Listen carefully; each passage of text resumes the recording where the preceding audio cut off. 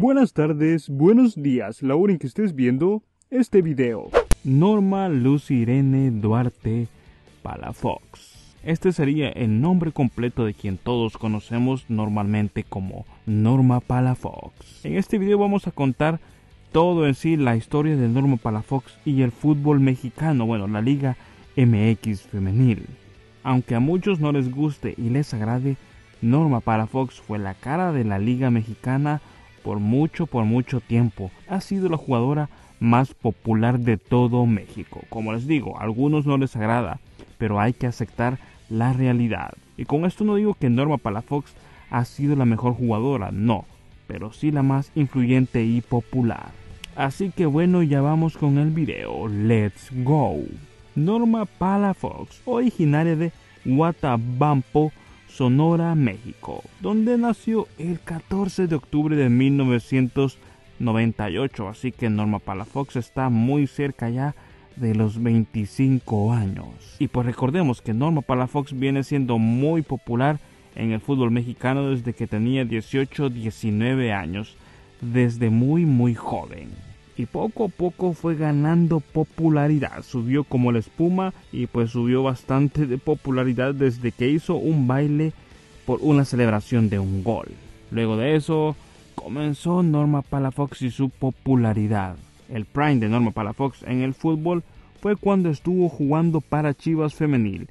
Esto fue allá por el 2017 al 2019 fue su prime en general. Ahí fue donde se convirtió en la futbolista más popular de todo México y como además también tuvo muy buena participación en las canchas jugando para Chivas femenil. Sinceramente fue donde más ha jugado al fútbol últimamente. Norma Palafox en Chivas femenil disputó 62 partidos e hizo 17 goles. Incluso por un tiempo llegó a estar como la máxima goleadora de Chivas femenil.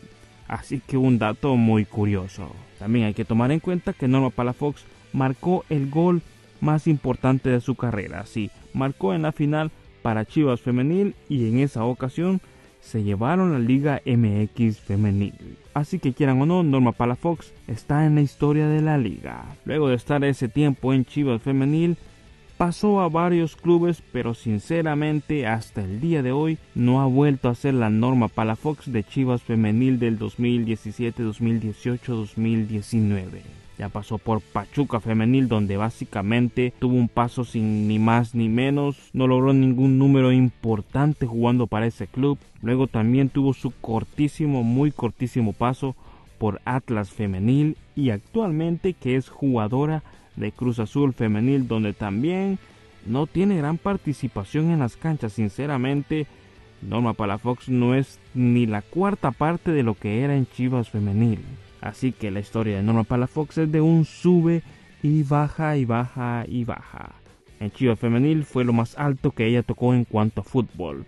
Y luego bajó, bajó y bajó más y por supuesto para México no ha disputado ningún partido para selección mayor. Pero bueno, la vida de Norma Palafox no ha sido tan mala después de todo. Fuera de las canchas, ostenta el título de ser la futbolista mexicana más popular en redes sociales. Sus números la avalan. Además de ello, se embolsó la gran cantidad de 200 mil dólares en el hexatlón. Vaya, eso se ha sido un éxito muy bueno. Además de ello, es referente de varias marcas, es muy muy popular en redes sociales. Para serles sincero, creo que gana más dinero que muchos futbolistas de alto nivel de la liga MX femenil, ya que Norma Palafox es muy popular en redes sociales. Tiene millones y millones de seguidores. Lastimosamente bajó mucho, pero mucho de nivel. Ya no es lo que solía ser. Pero de igual manera, desde acá le deseamos la mejor suerte del mundo.